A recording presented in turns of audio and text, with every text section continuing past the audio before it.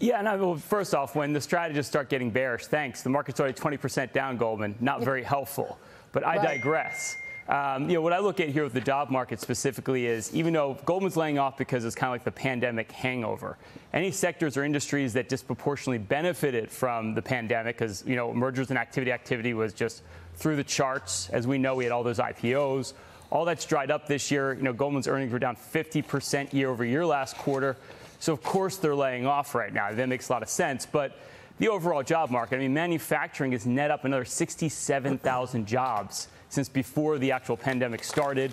And if you look at just you know industries in general, you, you look at like uh, you know hotels, retailers, they're all trying to hire. In fact, the biggest problem I find, and I said this last week with my business owner clients, is they have demand, they can't find workers to fit that demand or find you know to, to fit the need.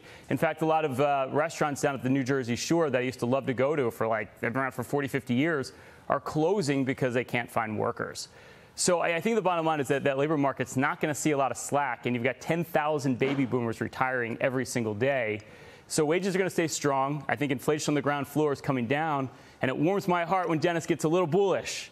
I like to hear that. And I think he's right. I think uh, markets are way oversold here. You're at extremes that we haven't seen in a long. Bearishness is the most extreme I think I've ever seen in my 20-year plus career.